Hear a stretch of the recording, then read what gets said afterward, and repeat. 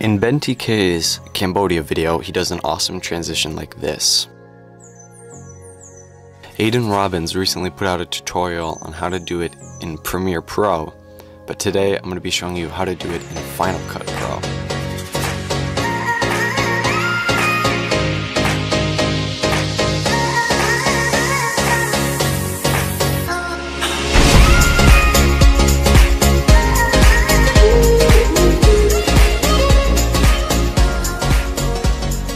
So as you might be able to tell, I'm actually on my gimbal right now, and to make this shot look better, you're gonna wanna use some type of stabilization.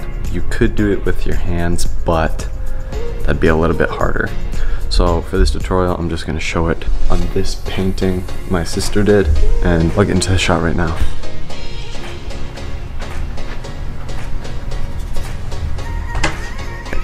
Now let's back to editing. Alright, so this is gonna be a little bit more of an extensive tutorial but I know some of you will be able to handle it. So let's get into it. These two clips don't really make sense together, but it's all I have at the moment, and it works for an example.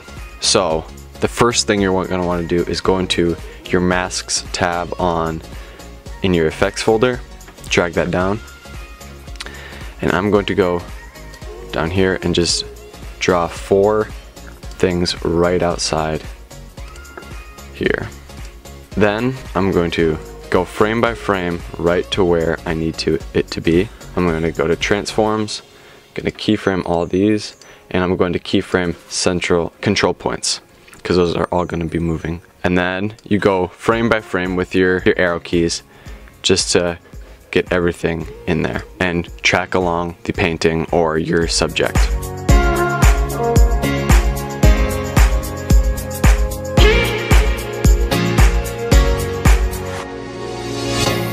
Alright, and that is all I'm going to do for this one. So what you're want to do is select that clip, Command C to copy it, paste it, drag this clip over it, and then select one or the other, it doesn't really matter, and invert that mask. So now you got this. It looks, it all looks the same. So here comes the more tricky part. I'm to select this clip, drag it underneath it, and then I'm to drag this down to 25%. I'm gonna have this one out of frame, but I'm gonna have it centered. Then when I want it to right here, I'm gonna drag that down. Then I'm gonna go frame by frame and just drag it along the side or the center until I want it all to fall. So I say right about here is a good place. gonna slide it down to the center. So it'll look like this. So then, when you do that, I'm just to add a slam sound effect.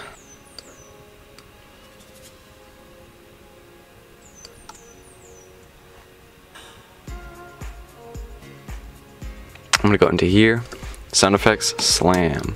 Wait for them to load. Drag this down to where it slams. Doom. Alright. Be like right here. Alright, so that looks pretty, pretty gnarly. and I'm just gonna add some music to it. Alright, and that is how you do that tutorial. I know it is pretty hard, but you can do this. Uh, if you just put your time to it, you can figure it out. So yeah, if you liked this video, remember to like, comment, and subscribe for more. Uh, check out our other tutorials. Um, share this with a friend if you want to help the channel, that would help a lot. So yeah, uh, see you next time. See you tomorrow.